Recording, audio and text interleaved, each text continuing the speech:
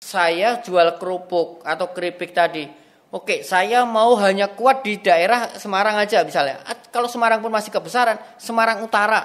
Kalau Semarang Utara masih kegedean, kelurahan. Kalau kelurahan masih gede satu RT, udah itu dulu.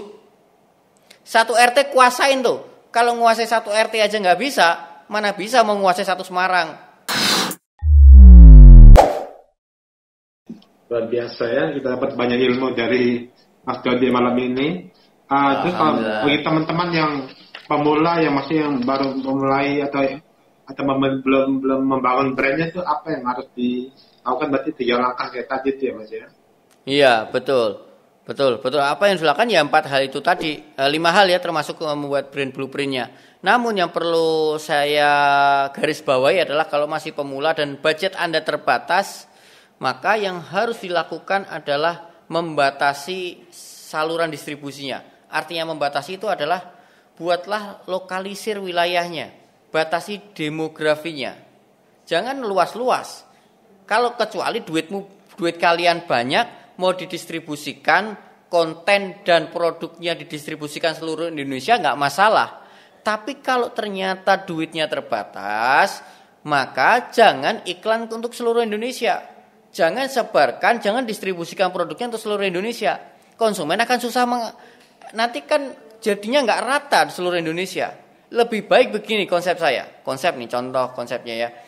Kalau memang punya duit untuk iklan itu cuma sejuta, lebih baik saat daripada satu juta disebar untuk seluruh Indonesia, mendingan persempit wilayah demografinya. Contohnya, ini saya sering ngasih sampel nih. Saya sering bilang sama teman-teman yang masih kecil, uh, misalnya keripik.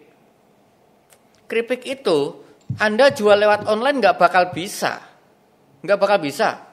Gimana caranya jual keripik lewat online? Untuk membangun minat belinya bisa. Tapi untuk mendistribusikan produknya nggak bakal bisa. Konsumen butuh keripik itu. Konsumen butuh keripik misalnya nih. Uh, kan karena banyak nanya ke saya Mas Dodi saya jual internet FBS kok boncos kenapa ya? Saya jualan lewat internet kok boncos kenapa ya? Saya bilang kamu jualannya apa? Saya jual keripik.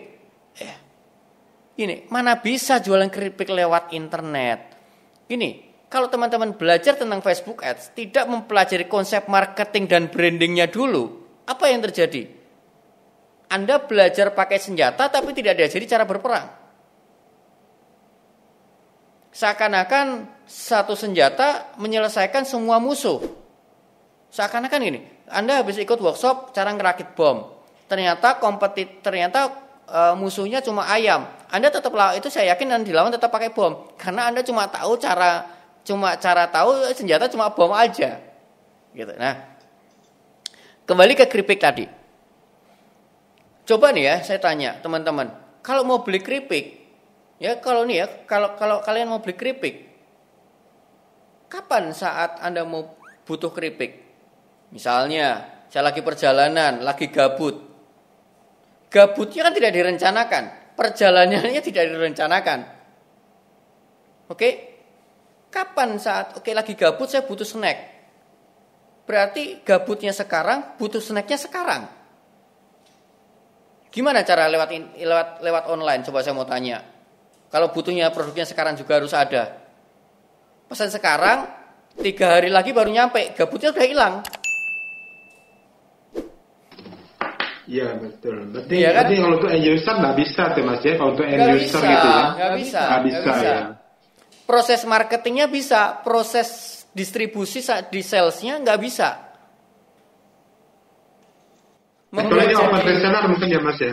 Kecuali dia open uh, reseller mungkin bisa ya. ya. Reseller, reseller tuh. Resellernya online. Dari reseller ke end user harus offline.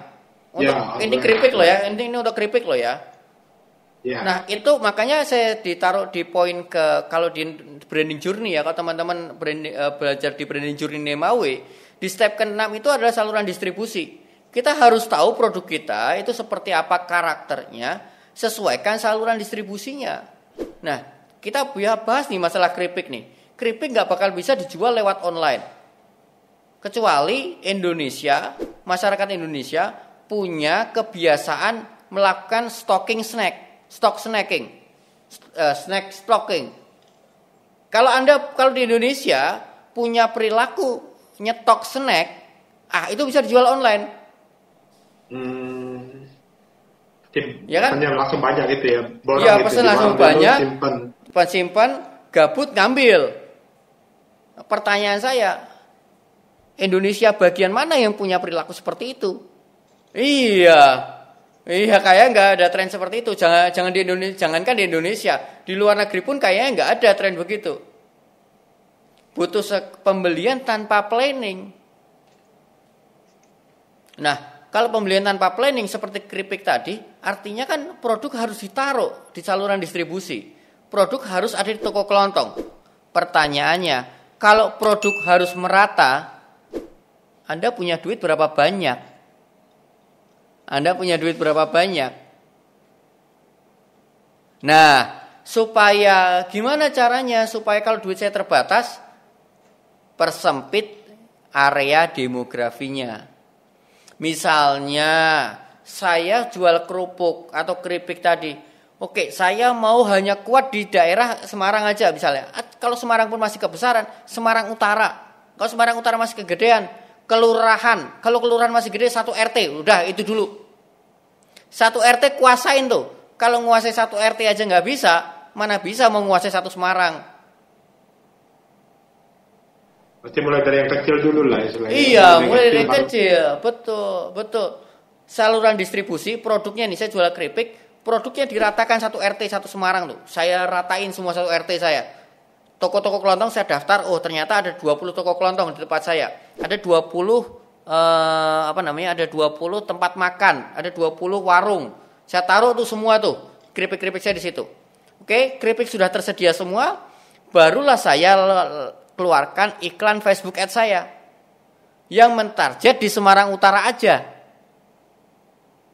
Ah, yeah. lagi makan, pakai snack ini ya, pakai snack Dodi ya misalnya lagi gabut, beli aja snack Dodi. Nah, oh iya saya pengen, belinya di mana? Toko kelontong terdekat. Datang ke toko kelontong, saya beli snack Dodi. Eh, ternyata ada juga. Nah, gitu kan jadinya? Gitu kira-kira Bro David. Iya, iya.